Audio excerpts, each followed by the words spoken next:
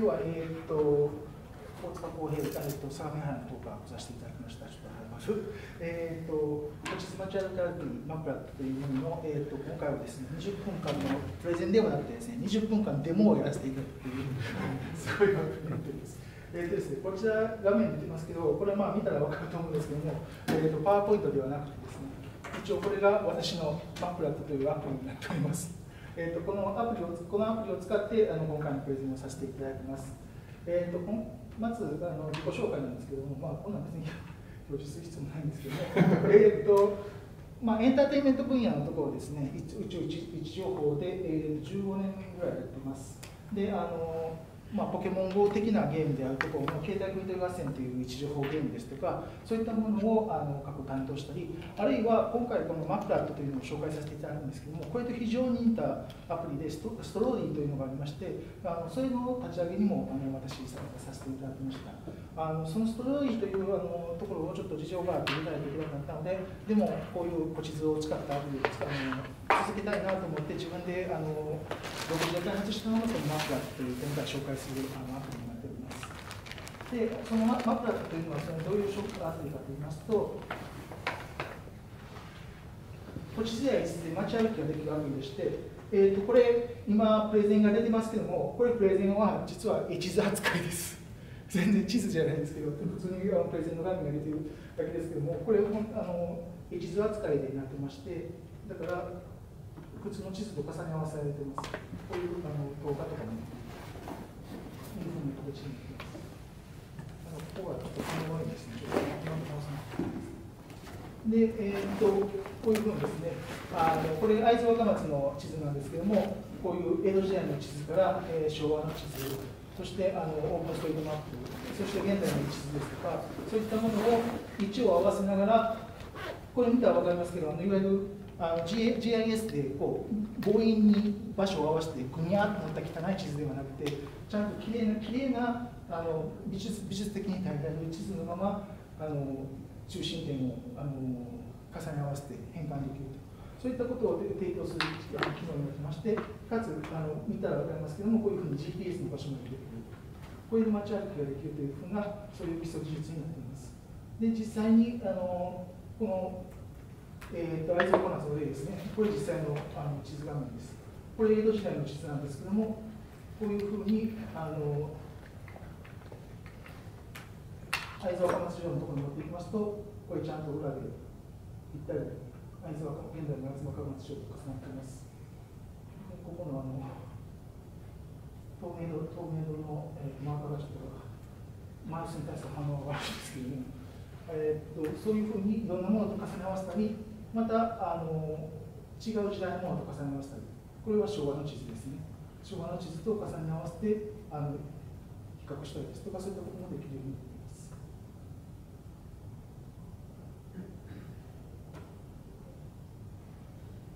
でえー、っとリアルタイムで後ろであのこういうふうにあのポコポコ動いているので分かりますように、もうリアルタイムで本当にあの裏であの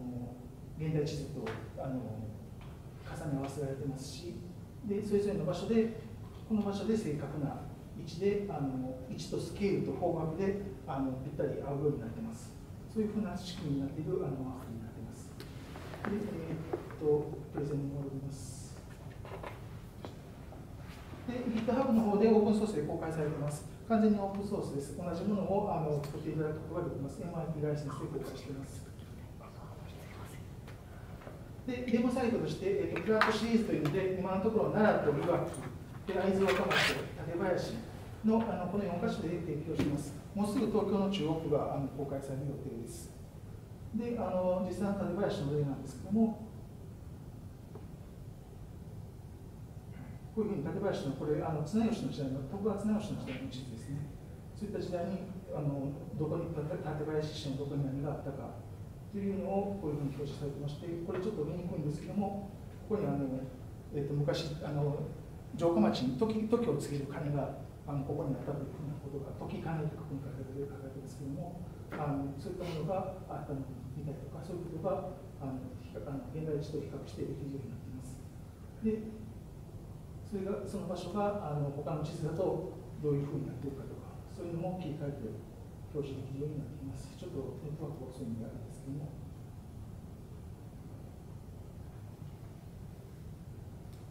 で、ちょっと僕、この館林っていう町が好きなのは、えっ、ー、と、なんていうんですかね、この今年の1月にあのあの、えーと、放映があった、えーと、宇宙よりもあ空よりも遠い場所っていうアプリあのアニメがあるんですけども、それの舞台になったので、そのアニメのあの巡礼地図を自分で作ったりしたんですけども、これわざわざあの何でしたっけ、国土地理院にあの測量調査の利用許可まで取って作った、そこまでして作った多分巡礼マップの初めての巡礼マップじゃないかなと思うんですけど、そういったものもあの載せたりしています。で、発表の方に戻ると、で、さまざまなあの利用事例もありまして、えーと、ジョーダンさんにこういう地図であの観光地を紹介するものに使っていただいたりですとか、あるいはマチプラさんというところでこういうアプリに使っていただいたりですとか、あるいは小ゲドさんというところでアンビアマップというさまざまな位置性や地図をまとめてあの街歩きできるという、そういうアプリの中のエンジンとしても使っていただいています。えーと、データはデータを作成するのはあの別エディターといいましてあのそれは別プロジェクトで公開していますこれも GitHub で公開していますでこれをこのデータを使えばさまざまなデータを作っていくことができます。で特徴といたしました、まあ、先ほどすでに見ていただいたようにこう地図を歪めずに美しさを損なわずに現代地図と切り替えリアルタイムに重ね合わせできるというのが特徴の一つになります。これはあのえーと、世界で初めてかつあの日本唯一のあのものになっています。リアリアルタイム重ね合わせできるところですリアルタイム重ね合わせが世界初かつ唯一になりますまた中心位置だけでなく方角や縮尺もぴったりした変換をすることができますこちらウェブ版では世界初になっています、えーと、ついこの間まで唯一だったんですけども残念ながらあのあの、まあ、ライバルのストローディがですね最近これにも対応しましてなのであの唯一ではなかったんですけど世界初のはあのえー、動きません。でまたあのあらゆる古地図間でですね座標系全域で1対1の変換要するにあのあるある古地図から別の古地図に座標を変換して元の古地図に戻ると絶対元の場所に戻ってくるというそういう1対1の変換を保証するという機能をつけていますこれは世界初かつ唯一であのもう一つのストローリーという方でも実現できていない機能であの今特許出願中の機能になりますえーと、実際のこれのデモをお見せしますと、これパリの地図ですね。これちょっと見にくいんですけど、この真ん中に丸があります。この場所が動くかどうかを見ていただきたいんですけども、これを別のパリの地図に変換しますと、こういう、まあ、よく見た場所に戻ってきます。で、どんどん切り替えても、あの全くピクリとも動かないと思うんですね。こういうふうにあのずっと1対1の変換ができるというふうな機能を実現してるんですけども、同じことをあの、まあ、ライバルのストローでやることと、全く同じバックエンドのあの GCP、グランドコントロールポイントを使って、で同じ地図を使ってやってますけども、例えばこれを中心点を同じこの場所に設列して、切り替えていきますと、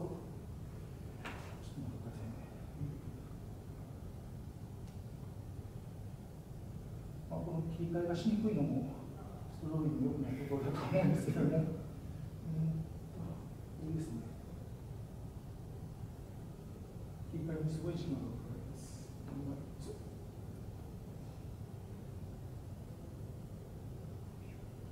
はい、これで一旦この地図に行って元の地図に戻ります。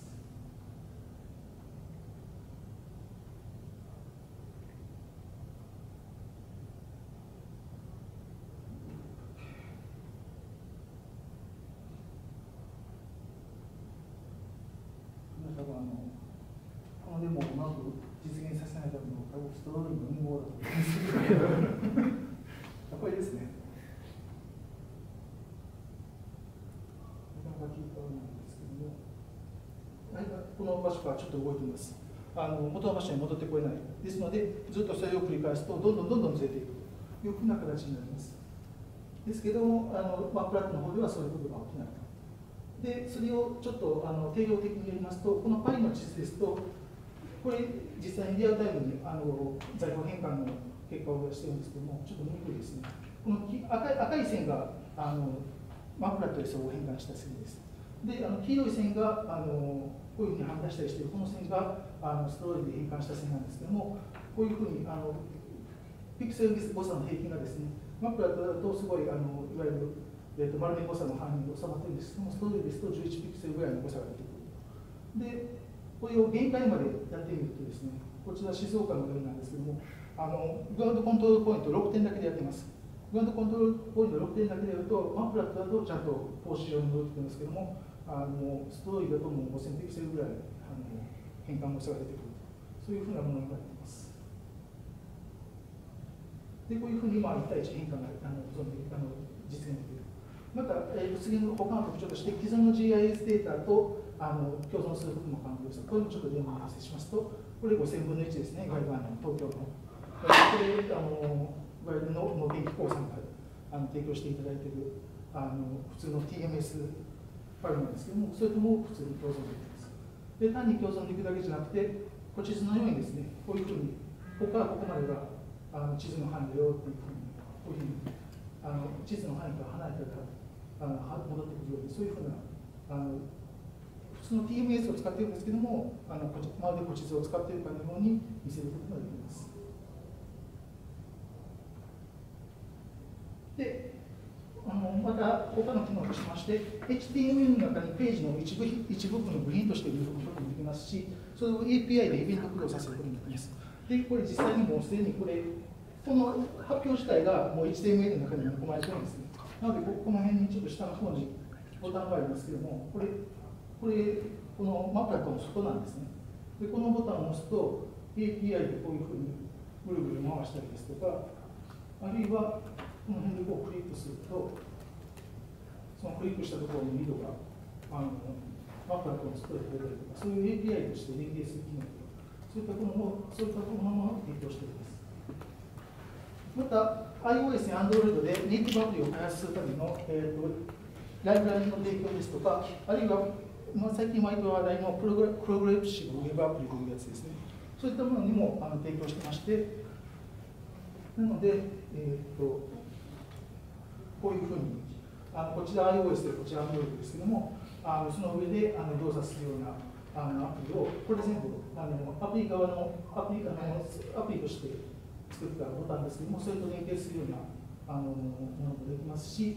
またプログレッシブウェブアプリでウェブサイトそのものをあのあのいわゆるホーム画面にあの、えー、とアイコン登録して全画面起動してでオフラインで動作するそういったことを実現することもできますまた、えーとえーとですね、あの表示状況を URL から再現できる。ここになんかすごい長いあの URL が出てきてますけども、これ動かすとどんどん座標とかも変わっていって、あのズームを変えるとズームレベルとかいうふうなのが見てくれると思いますけども、そういうものを SNS でシェアする機能もついています。で実際こういうふうに SNS でシェアする機能もついてまして、またクライアントサイド JavaScript のみで動作できるので、えーと、こちら見てもらったんですけども、これローカルホストで動きます。あのストローリーの方はあのサービスなウェブサービスなので、インターネットでしか動かないんですけども、こちらはもう完全なあのいわゆる閉鎖空間でも動かすことができます。で、えー、全てオープンソースで、それを変換ロジックとかそういったものもポスポージで構成しています。またデータエデータも高機能なものを用意しています。で、ストローリーとマンプラットをちょっと比較してみますと、まあ、残念ながらストロインの方が優秀な一画面内に複数の地図を含んだりですとか公開してすぐにあの公開できたりですとかそういった機能であのストロインの方があの優れているものもあるんですけども今までは説明しましたようなマップラットの方が優れているものが非常にたくさんあるのでぜひまたあのマップラット使っていただきたいなというふうに思っています。でまあ簡単に比較してみますと、まあ、一言で言うとストローリーっていうのはあのまあウェブサイトでいうとブログサービスみたいなものでもう簡単にもう用意されているものをちょちょちょっとあの編集するとすぐに公開できるそういうブログサービスみたいなものですけどもマップラットの方っていうのはあのいわゆるアパッチとかエンジン X みたいなウェブサーウェブサーバーみたいなものだというふうに考えてましてあのマプラットは残念ながらあの設定ファイルとかいろいろいじくってもらわないと動かないんですけどもその代わりその設定ファイルを使いこなしてもらうとどんなことにもさせることができるそういったふうなものだというふうに思っています。残り5分しかなくなっちゃいましたけども、えー、っとで今後の展開ですが、えーと、こちらは去年から言ってることなんですけども 3D のマップアートを展開、えーと、いわゆるセシウムとかを使ってですねこの地図地図の上に地形図を重ね合わせたりですとかそういったことができるようなことを考えています。また長官図写真マップアートの実現、えーと、地図っていうのはあの現実世界の真上からのあの、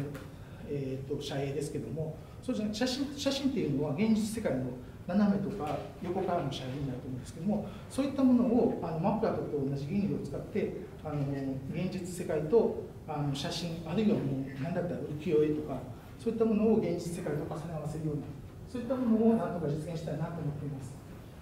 でこれは去年からあの去年の発表の時から言ってたものなんですが、まあ、今年になってちょっと考えましたのがですね地図を用いたプレゼンツールまさに今日今日これなんですけどもまあ今日はなんかなんとなくプレゼン僕見せながらやってるんですけどもこれをもっともっと追求して地図を使ってさまざまなストーリーを伝えるためのツールとしてあの発展させたいなというふうに考えています、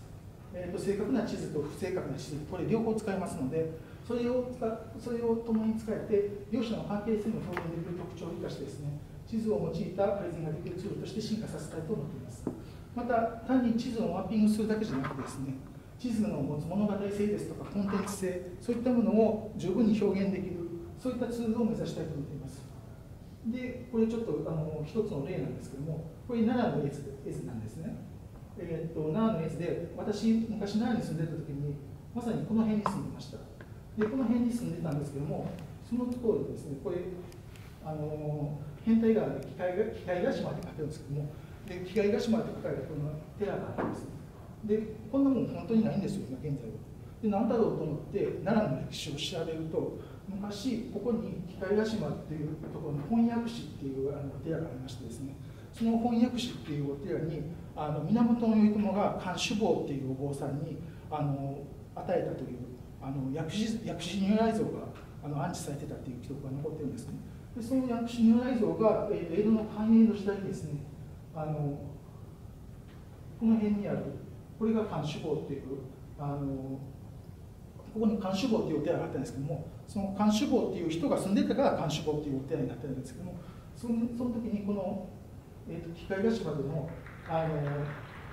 えーと、薬師薬師堂があの伝えた時にですねここに移動されたという記録が残っています。でここの漢主坊に一旦移動した後あの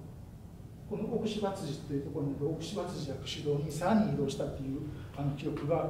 同じ本に載ってるわけじゃなくて別の次の時代を抱えた本に載っててでその奥芝辻あの薬師堂が潰れると今度はこの正明寺というあのお寺にあの移ったという記録が残ってるんですね。でこの正明寺っていうお寺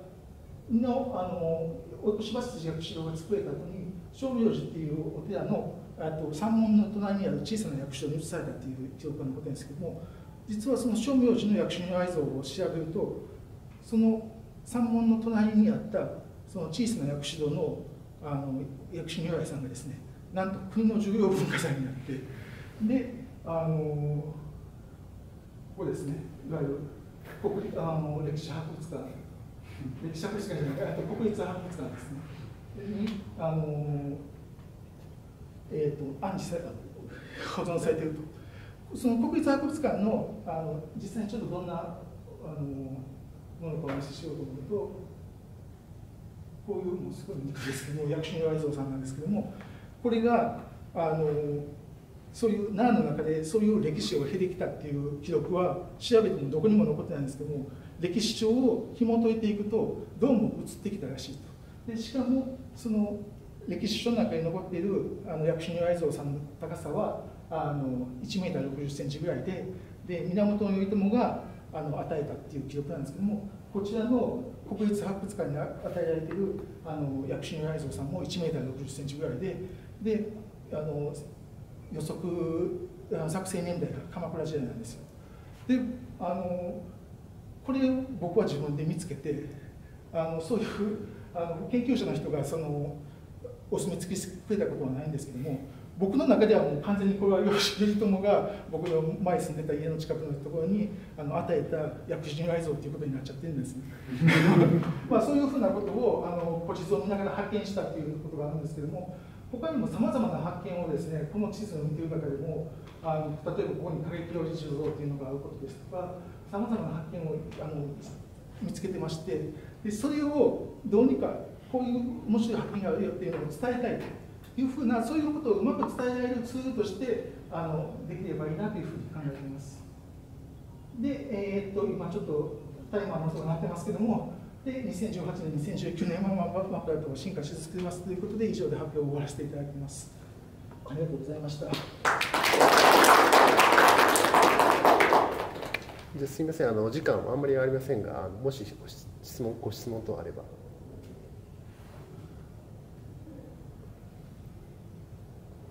大丈夫ですか。えー、じゃああの私からあの、えー、マップラットにあの古地図を登録するときに登録しやすいようにしていただけると嬉しいなと思ってるんですけど、はい。あれですかあの設定ファイルを変えるだけじゃなくて、そうですね。はい。そうですね。ちょっとそうですね。はい。すみません。大変だと思うんですけど。はい。はい、ありがとうございました。ありがとうございました。はい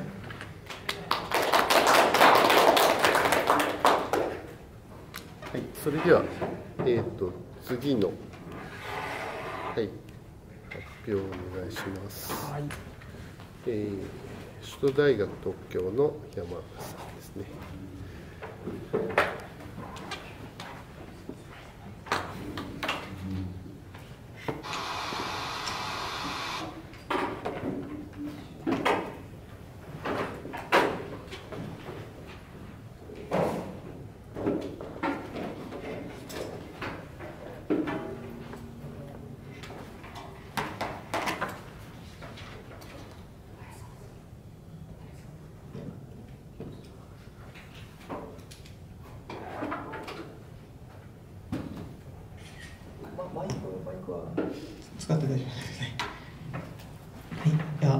首都大学東京、えーと、大学院のネットワークデザインスタジオから来ました、えーと、修士2年の山浦と言います。よろしくお願いします。えっ、ー、と、あれですね、今、東大に移っちゃってるんですが、渡辺秀則、えー、教授のあの昨年まで在籍していた、えー、研究室の学生です。はいえーと、若年層の地域理解を促進するためのアーカイブ制作シリアスゲームの実践と題しまして発表させていただきます。えっと、現在、えー、小学校、小中学校等で行われている地域学習及び総合学習にて、えー、におけるニーズとしまして、えっと、地域学習では社会に対する理解を図り、えっと、社会的な視野を、えー、広げることですね、えっと、地域を改めてこう見てみることで新しい視点を得てっていうものがニーズとしてありまた総合学習の地域学習を含めた総合学習の中では、えっと、生徒の興味を引き出し能動的に参加できる、え学習をして、えするというように、え決め取り決められています。で、えっと、それらに加えましてシリアスゲームっていうものが社会問題の解決を目的として開発されるものでこれらに関してはモ,、えモチベーションのえーと、協調とか換気継続を行うほか、えーと、地域だったり扱っているトピックに対して特化した学習体験ができるということで、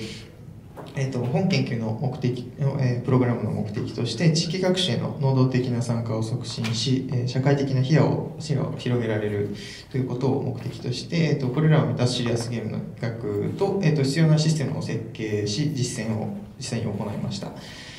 えーとですねで、えーと、実際にその作ったもの、えーと、これらを、えーと、踏まえまして実際ゲームを通して、えー、と小学校の子どもたちに、えー、と自分たちの地域に関するデジタルアーカイブを、えー、今回作成していただきまして、えー、と作成にあたりえー、FOSOG のシステムであります、えー、JavaScript のセシウム JS を使いました。えっ、ー、と、このようにですね、これが、えっ、ー、と、山梨県は南アルプス市の、えっ、ー、と、串形西地区という、え、小学校の学習地区で、ここが小学校なんですけど、最初にフォーカスしてスタートした地点ですね。え、ー、と、ここから、え、ー、と、実際に子供たちが地域について知って、えー、歩いてみて調べた内容がこのように、をまとめた、えっ、と、壁新聞をこのように、その実際にそのものがある場所についてですね、合わせてこう売っています。えっ、と、物水化古墳という古墳がこうあって、それについて調べたこのこういう内容を生徒本、えー、児童本人がここにマッピングしたっていうふうになってます。またあの学校についてこうインタビューした子たちがいたりした場合はこの下に URL が入っていればですねこうやって、えーと、インタビューした時の様子とかを YouTube のリンクで、えー、導入するようにして見られるようにしています。またあの南アルプス市が盆地で山の山、えーと、山林のところにあるので非常に起伏に富んでいるのでセシウムであの地域、えーと、地形を表現できるということでセシウムを利用しました。で、えーと、スライドの方に戻ります。また、えー、セシウムを用いたデジタルアーカイブの、えー、と利点なんですけれど、えー、と特定の情報と地理情報特定の分野に対しての情報だったりというものと,、えーと、地理地形情報等を紐付けて整理することによって情報整理能力を養うことができるというほかまた、えーと、例えば広島アーカイブの、えーと、共同制作にあたっている広島女学院高等学校の、えー、と証言収録の委員会の子たちが自分たちで集めたデータを、まあえーと、で広島アーカイブに入れていくということによって学生によるアーカイブ制作が教育現場で利活用がされているという事例が出ており、えー、本研究、えー、本プログラムも、えーと、デジタルアーカイブを作るということになりました。で、セシム JS をなぜ、えーと、利用したかということに関しては、えー、とオープンソースで自由に、えー、とカスタマイズが可能ということで学校の学校から出てきた要望だったりとか制約に合わせて、えー、とこちら側で変更ができるということですとか、えっと、標準的な Web のブラウザであればどれでも動作するものであるので新たにこう新規ソフトを導入したりっていうことが学校に対してかからないので導入コストが低いという点が挙げられまた地形表現も、えっと、非常に容易ということでこれを選択し実行しました。えっと、対象地域とにかの協力に関しましては南アルプス市の、えー、歴史文化財課にご協力を仰ぎまして、えーと、学習内容等のチェック、まあ、システムの実装はこちらで行って内容の精査をよろしくお願いするという形で連携して進めていきました。また、えーと、プログラムについては、えーと小学校のえーと、6年生を対象に総合学習の時間で、えーと、平成、えーと、2018年の4月から、えー、と7月の間で全3回事前学習現地学習事後学習というすでに決められていたカリキュラムに合わせて3回実践することにしました。とゲーム全体の概要はこのようになっています。まずキックオフとして地域の文化歴史に関するキーワードのクロスワードパズルを行うことで、えーと、地域についての再発見やきっかけ作りとして行いましてその後地域について調べるテーマを子ども,、えー、子どもたちに仮決定してもらいそれを踏まえた上で、えーと、フォトロゲえ、アプリケーションを用いたフォトロゲーニングを行って、えーと、今その地域というかその史跡だったりそのテーマに用いた場所がどうなっているかとかどこにあるのかっていうものを見てもらいその上で地域についてテーマを決定してでリサーチして先ほどのような壁新聞を作成してもらいました。で最終的に事後学習の時間を使って、えー、生徒たちの手で自分の壁新聞をアップロードおよび、えーと、場所を特定して打ってもらうということでアーカイブの作成をしました。どこかパンパンといくんですがまずクロスワードについてはこのようにあのざくばらんな、えーと、ゲーム教材を作りまして、えーとチームごとでプレイしてもらいました。の、まあえーと、地域についてこう資料を探しながらああこれってそっかそういうことだったんだみたいな声がこう自然と上がったりとかまた全員でこう連携したりして最後まで興味を持って取り組むことを姿が見られたりとかで地域についての発見を生んだり、まあ、興味を引き出すキックオフとしては非常に良い結果になったかなと。その後ですね、えーと、現地学習で行った時点では全、えーと、学区内に存在する他にも地点はあるんですけどその中からかいつまんで6地点で、えーと、このような AR アプリを実装し、えー、とチームごとで子どもたちに探してもらいました。関してはこのように半透明な、えー、と写真ですね。これ発掘当時の写真とこれはカメラを通してみた今のその道路の写真なんですけどこの通学路にあったようなこういうものがえーと、昔はこういうふうにあったんだよっていうことをこう見てもらって、えーと、記録っていうボタンをタップするとですね、えーと、その地点にいうようなフォームを作成しております。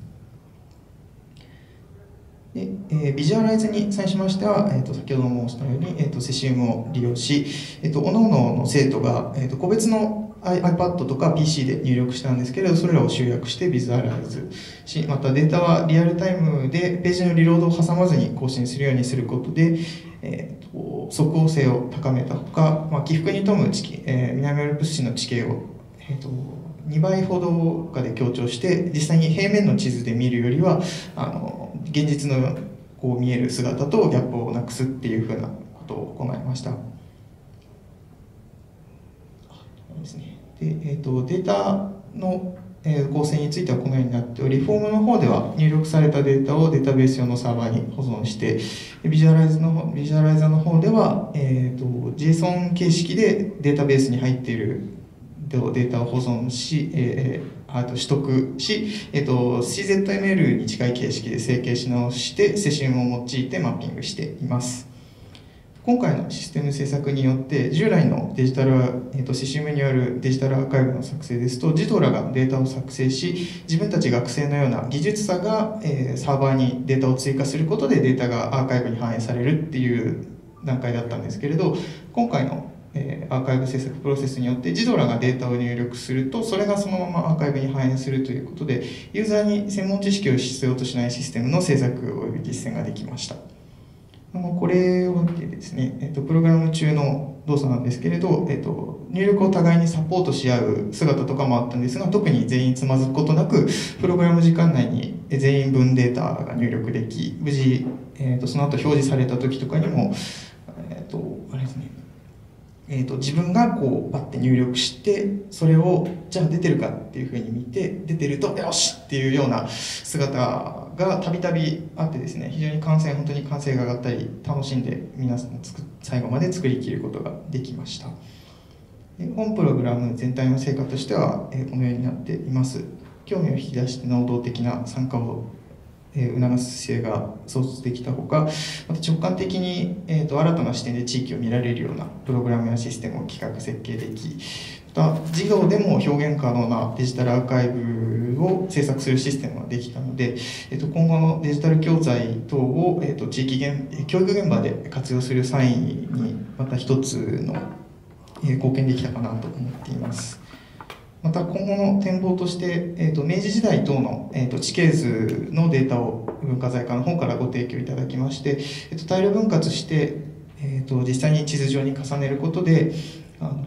今の状態とまた地図上の方でもここは昔どういう道だったのかとかだからここにこの建物があったんだとかっていうような新たな発見を生むことができるようになるかなと考えています。また加えてですねシステムの軽量化およびちょっと不安定な部分だったりでバグが出ちゃったりっていうこともあったのでその辺を現在なくすようにかん、えー、改良中です。また一連のプログラムや今回のシステムを他の学校でも流用実践可能なように、えーと、マニュアルですを作成したりして、えーと、技術者が本当に、えーとサポートとしても入らなくても動かせるようにパッケージ化を進めている段階です、えー、と以上でと本研究の発表は終わりになります。ありがとうございました。それではご質問等ありましたら。はい。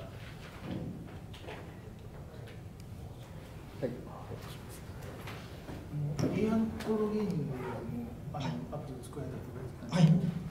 あれあれああいうことをフォトロゲーニングっていうのを知らなかったんですけども、あのああいうのって割とません。自分の趣味の方に寄せますけれども、はい、アニメ例えばアニメとかでも、はい、聖地のアニメの画面とですね。成長を重ねまして自分の写真を撮りたいとかそういう用途って割とよくあるみたいで,、でなんかそういうのを自分でも作ろうと思うんですけどもなかなか手が出なかったりするんですけどなんかそういうのが今まで調べてみると案外オープンソースのものがなかったりしてでもし可能であればなんかその今回使われたやつをオープンソースに出したいとかなんかそういうことがあのいただけるとすごく嬉しい。ちょっと触ってみたいなと思いました。はい、ありがとうございます。えっとリリースに対してのハードルもちょっとあるので、オープンソースでの公開は一つまああり得る手段かなとちょっと考えているので、iOS での開発ソースにはなるんですけれど、あの前向きに、はい、検討させていただきたいと思います。もし他にありましたら。あどうも面白いあの今回の場合ってその小学校生の児童っていうことなんで、そのなんていうんですかねそれでそのアポロっていうのは完全にそのデータのクリーニングっていうふうなのがないわけですよね。そうなるとその最初のその動機づけみたいなこういうものを取りましょうっていうふうなのを、えー、動機づけが、まあ、小学校の場合大変なんじゃないかなと思うんですけどそういうふうなどういうふうにこう持っていかれるとこう対象とかのデータに対してこういいデータっていうかいいのが取れるっていうふうなのがもしあれば教えて願いたいんですけど。えーと、すみません対対象のいいデータっていう要はその適切じゃないデータっていうのを取ってあげる可能性っていうのがあるじゃないですか。あはいそういうふうなのを排除してうまくこうまあ言うたら望むようなデータっていうのを出すためにはどうするのかなと。そうですね今回にえっとですね授業なえ授業についてはあの南アルプス市の、えっと、文化財課の方にもサポートで入っていただいてで、えっと、子どもたちが調べたいっていったテーマを、えっと、サポートするほか最後に上がってきた壁新聞の情報に、えっとまあ、そういう危なっかしいものがないかとかあの本当にこれは正しい解釈としてあり得ているのかっていうのを、えっとチェックしてもらった上で、えっとここにあげるっていうふうなプロセスをやったので。そこでチェックは一応入ってるっていうことはい、あの壁新聞を作成した段階で一旦チェックをしてもらってで OK ってなったらじゃあこれに上げて、まあ、みんなに公開してみようというふうな流れで一連のプログラムを行ったので確かにそうですね。いきなりあの直に渡したりするとそういう危険性ははらんでしまうと思うんですけれど何あの間にキュレーターとしてあの役割を果たせる方を挟むっていうことでその辺はクリアできるのかなと今思っています。